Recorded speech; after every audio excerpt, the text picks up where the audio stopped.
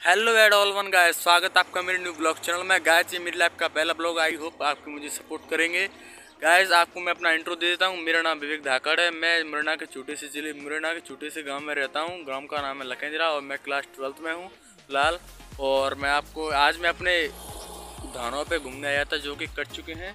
तो आपको मैं बताता हूँ, यहाँ का व्यू बहुत ही अच्छा है और हमें ये बेचने हैं।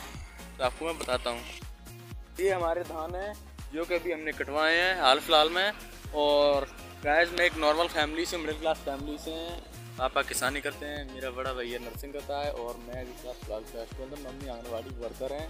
और दोस्तों प्लीज़ तो आपको सभी की तरह मुझे भी सपोर्ट करना है।